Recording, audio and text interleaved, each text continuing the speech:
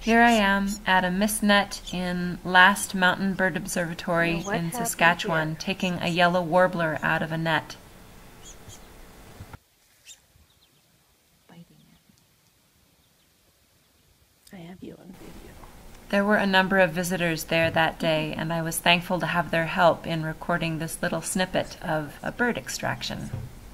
Yeah, these guys get their heads stuck through the net really easily. It's, um, Last Mountain Bird Observatory is one of the only places in Saskatchewan where the general public can visiting an operating banding station to learn about the species that we capture and the data that we collect from them through spring and fall migration in Saskatchewan.